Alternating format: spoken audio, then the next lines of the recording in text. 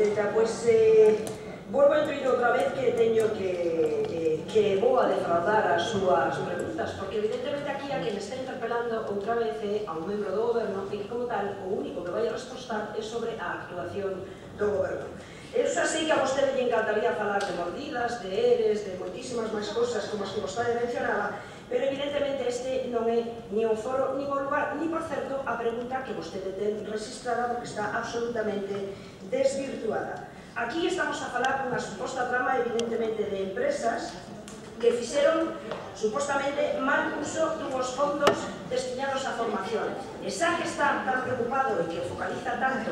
neste goberno, tamén supoño eu que, a raíz desa lectura que fixo vostede do sumario, coñecerá que o que está investigando a Policía Judicial eh, no futuro a SUIF é dentro do ano 2008. Mesmo dentro do ano 2008, que no ano 2008 non estaba a gobernar este goberno. O que sí que podo garantir que é o que máis me preocupa a mí, trasladarle á ciudadanía a tranquilidade de que os mecanismos de control da Xunta de Galicia funciona e existen dende que os puso este goberno e non outro. É dicir, os mecanismos ao control das subvencións de fondo de, de fondos de formación están funcionando porque o primeiro goberno e non outro, non outro que, pis, que puso os controles é este goberno. Eu xa sei que a vostede este tema non lle interesa, máis ben pouco o que se fala cos captos públicos, pero a miña responsabilidade é interesarme. E non sou interesarme, controlarla e mesmo tamén se a detectamos, enviado á Fiscalía. Volvo a decir, non existían controis sobre as subvencións dos programas integrados de empleo, porque esta decisión evidentemente foi tomada polo meu departamento non só para incluirlo na orden, sino mesmo tamén para facer as inspeccións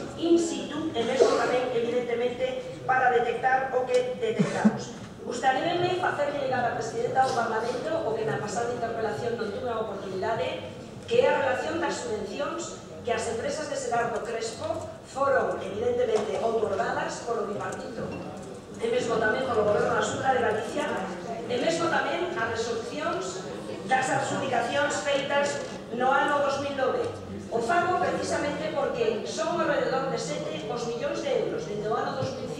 ata agora que foron destinados ás empresas do Serrano Crespo en todas os tipos de subvención. Logo, non estamos a falar de 20 millóns de euros de fraude correspondentes a esta Xunta de Galicia, é dicir, os cartos dos galegos e das galegas, posto que, como queda manifiestamente claro, están a investigar o goberno anterior, tamén están a investigar outras comunidades autónomas, nove comunidades autónomas, e mesmo tamén o goberno de canadá.